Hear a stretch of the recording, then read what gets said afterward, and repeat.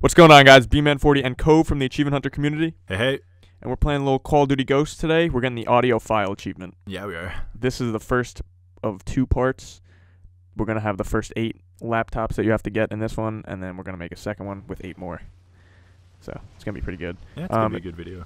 Yeah, it's we're we're gonna have some nice stuff to talk about. Yeah. There's gonna be 18 missions in the game. There's eight, one per level, so 18 laptops you have to get.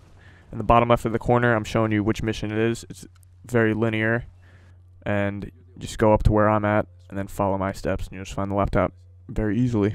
Seems pretty easy. Are all What do you think like, about that, pretty Cove, huh? Straight on, like straightforward. I mean. Yeah, like on this one that you just saw, number two, you you're supposed to just like stand around and listen to what the guy's saying, but you can just go to the right and get the laptop. It's a really linear game. You can't really veer off that much. Oh yeah. Yeah, it's pretty good. Pretty uh, pretty typical for You a Call uh, Duty game. you you play any Call of Duty Ghosts yet?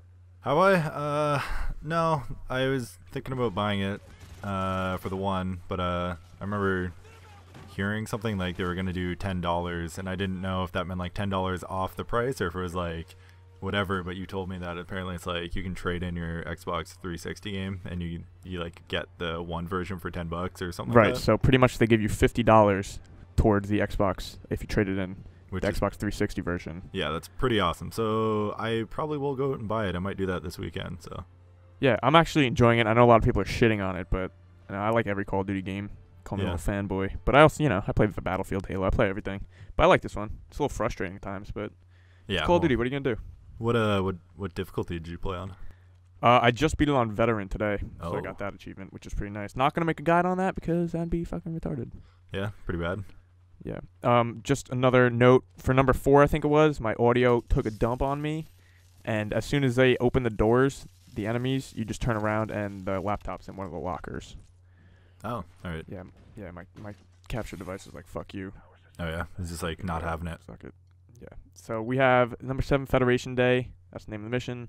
One more to go, and then we'll be back for a second part very soon. You know, you're not gonna have to wait too long. Yeah, no, we we don't uh we don't tease. We get right in there. Yeah, we uh we don't feather it or you know, ro- make you ride the edge or anything. Yeah.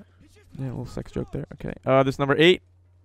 Watch out for the names if you don't want any spoilers. If you're not up to this part yet, finish this little part of the mission and then go back and find the the Rorke file. That's what those things are called. Huh.